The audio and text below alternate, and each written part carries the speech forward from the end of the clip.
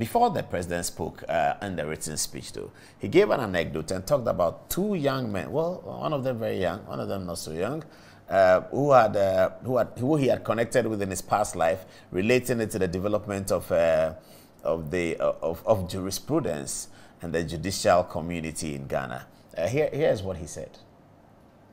Ghanaians, ladies and gentlemen, permit me at the outset to pat myself a little bit on the back here. I must have been doing something right in my other life.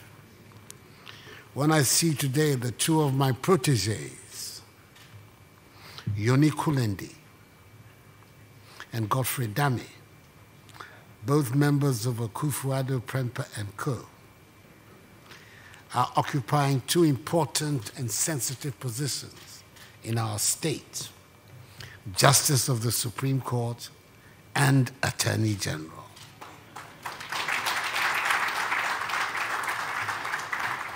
And I wish them well and have every confidence that they will discharge their offices with credit.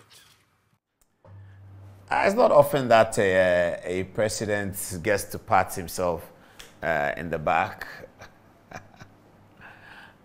it's not often that a president gets to pat himself in the back. Uh, but the, here, President Akufo-Addo said that he feels that in his past life he had done well by identifying, recruiting, uh, creating a platform for uh, legal training and legal proficiency of two men, one very young, one not so young, and you saw that uh, Justice Yonny Kulendi, uh, Justice of the Supreme Court, Kulendi JSC as he would be called these days, and uh, the Honorable Godfred Dame, the learned Attorney General and Minister of Justice.